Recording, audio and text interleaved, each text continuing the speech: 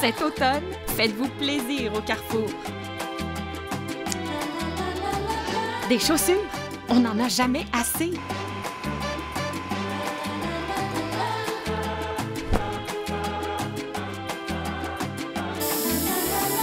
Pour être belle, de la tête aux pieds.